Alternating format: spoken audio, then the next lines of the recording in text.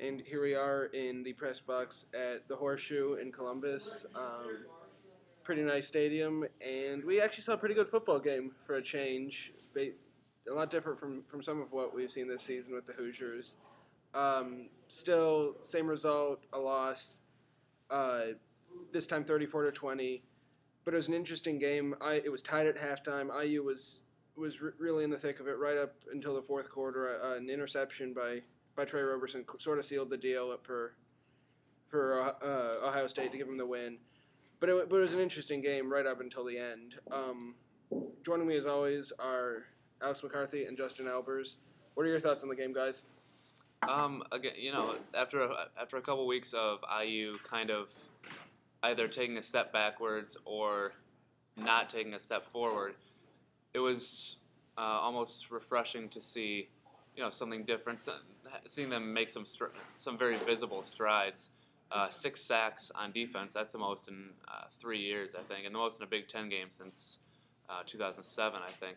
And offensively, they click, they were clicking a lot of the time, um, but it's you know it's it's a, a good sign for IU's defense mm-hmm. that they at times really slowed the the high-powered run game of uh, of Ohio State. I mean, they still gave up 300 yards rushing, almost 350, but it, you know, it didn't seem like they gave up that much. Mm-hmm. Though they did allow three different players on Ohio State to run for over 100 yards, which is yeah. is not a good sign. But Justin, what, what did you think? The big plays were a problem again, but I mean, you saw less of them, I think, this week. And part of that maybe has to do with the fact that Ohio State's not a good passing team. It seems like both of the uh, good performances from the IU defense in the Big Ten this year have been against teams that don't really throw the ball very well. Penn State being the other one. So you can limit them to the run, I mean, Braxton Miller had an 81-yard run early in the game that was a killer when IU led by 10. But they kept bouncing back, which was good to see. Uh, even when they fell behind 20 to 13, went right back down, scored a touchdown. And with a young team like that, you like to see those positive gains the big plays are going to be a problem. I mean, especially with the young guys that they're playing and how many of them. But to see the number decrease against a team like Ohio State in an atmosphere like this, I think is a positive going forward.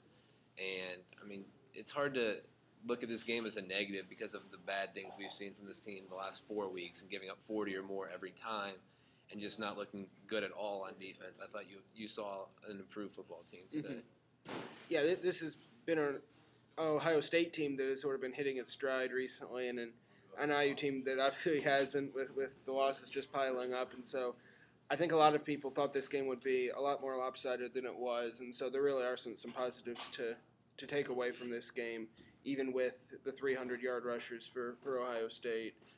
Um, but Tre Roberson is definitely slowly but surely coming into his own for IU. He led the team. He was the only quarterback for the team today uh, who attempted a pass at least, and uh, was was a respect respectable 11 for 21. Had a touchdown, had an interception. The touchdown was a, a pretty nice one to a wide open Kofi Hughes, who really stepped up today, and and he really needed to coming into this week. That was sort of, of a storyline with with Duwyce Wilson now out for the season, with Marlo Belcher off the team. This is the receiving core is, is Kofi Hughes' is group now, and, and he really stepped up to the challenge today. I thought. Yeah for sure. I mean, uh, Kofi didn't. I mean, a few weeks ago, it seemed like maybe he was going in the opposite direction. We talked to him after the game when Wilson said the receivers had a terrible week, and he kind of shook his head and looked really angry at Wilson at that time. And then it was like the next week when he starts talking more positively and saying he's been having better practices and he's starting to buy in.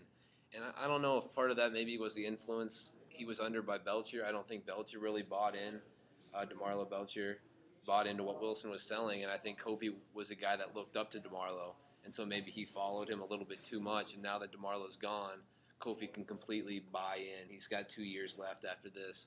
He's a guy that they're going to build around in this offense. Mm-hmm. So it looks like he's a guy that's completely bought in now. He's getting the most out of his talent. I mean, that's the best I've seen him ever look. There's a play where on a deep ball he was interfered with, and he still had the uh, the mind to go up there and make the catch, even though they were going to call the penalty. And those are just the plays that you haven't seen out of this team this year. And Kofi has the capability to be a leader of this offense when he plays the way he did today. Mhm. Right. Uh, yeah, like you said, that, on that play where Kofi was obviously there's obviously a penalty on the play, but he still, you know, kept playing, uh, as they say, you know, a even after the whistle, um, or even after the penalty, at least. Excuse me, at least. Um, that's that's something that we actually did see um, a, cou- a couple times from Belcher this year, where he was, you know, obviously there's interference, and I remember one time where he was interfered with, and then, you know, just accepted the penalty and didn't go for the ball, um, where it could have been a big completion. But yeah, like you said, Kofi's really starting to come into his own. And last week, Wilson said that they're going to try and get Hughes more involved in the offense. You know, he only caught one pass for 12 or 14 yards last week, and Wilson said, you know, we've got to use him. We've got to use him more. We've got to get him at least one catch.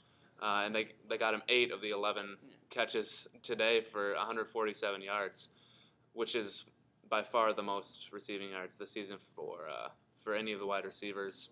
So we'll see if that continues in the in the coming weeks. But that was definitely definitely one of the big bright spots. Just to continue real quickly the comparison to Belcher, I mean, we talked about maybe the reason he struggled this year is because he didn't want to be the featured guy in the offense. You lost Tandon and Terrance Turner from last year, Ter- uh, Turner to graduation and Tur- uh, Doss to the NFL.